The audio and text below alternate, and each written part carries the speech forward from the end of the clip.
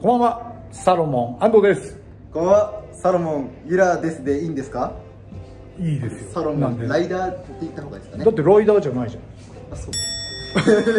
そうなんですか？僕ライダーじゃなかったんですけど。いやライダーですはいはいはい。サロモンスノーボードじゃなくなったんですいやもんねそうですそうです。そうですね。一応僕の、僕らのねリブランディングはい。経てっていう感じなんで。そうですね、はい、あえてのサロモンです。で今日「週刊スノーボード」新横浜なんですよ。はい。で緊急企画というかコンテンツなんですけど、はい。今ちょうどあの札幌市ウィンタースポーツ塾っていうはい。2030年。だいぶ先ですね。そう札幌オリンピックが開かれるのではないか。開くように北海道札幌市がすごい力を入れてるんですよ。今からこう仕掛あけていくっていう感じですね。そうでそのキッズたちのえー育成でここ神奈川県横浜市ねスノーバー新横浜にそのキッズたちが来てるわけですよ。そうですね。はい、まあ、もちろん知ってると思うんだけど、はい知ってます。動画用のリアクションです。い やすごいよくしてくれてるんで、はい。いやいやいやいやねありがとう。でそのコーチが中井隆治と高橋元なんですよ。エグすぎないですか、ええまあそうそうそうそう すごいっすよね。素晴らしいでしょ。まあユラがねいろいろ段取ってくれてこの練習会というかはい。トレーニングを実現してもらった。ありがとう。ありがとうございます。ありがとうってありがとうございます。2人が感謝したよでおもろいのがあの中井と元木がツインチップ乗ってるんですよ。み見たもん。見た見た。そう。なので、まあ、キッズたちサロモンのジュニアチームもいるから、はい。まあそれも込みで中井と元木のライディングも取っちゃおうかなみたいな行っちゃいましょそううそう。だから、はい。まあ普段一人の週刊スノーが新横浜なんだけど今日は豪華ライダーが3人プラス北海道のスーパーキッズたちをはい。取らせてもらいたいと思います。はい。はい、じゃあ行ってみよう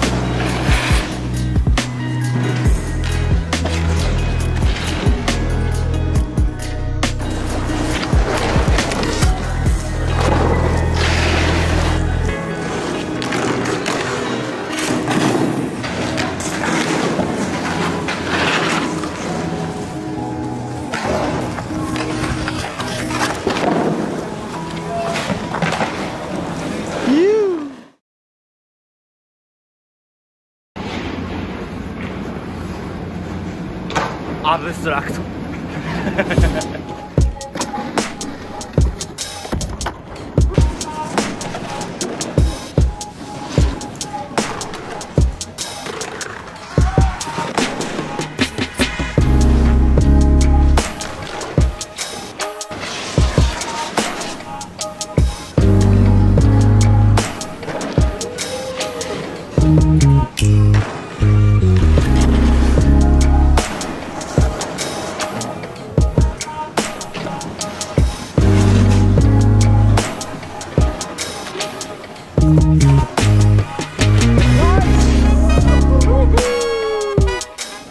はい皆さんお疲れ様でした。すいません急に撮らせてもらって。どう？スノーバー新横浜は楽しいですか？練習になる？はいでコーチの中井さんと高橋さんです。まさこの3人がね 同じ空間っていうかすげえ違和感なんだけど、まあ、あと中井と元木のツインチップも何年かぶり見たよね。何年かぶりにいやでも乗れてるからさすがですよ。いやたまには面白いんじゃなかったの？レール。欲しくなっちゃいましたねストラクト一号一号さんそうだね。いや貴重な映像を撮らせてもらいました。いや北海道のキッズたちありがとうございました。ありがとうございます。あっちにもあっちにおいっぱいいっぱいいる控えめな。控えめありがとうございます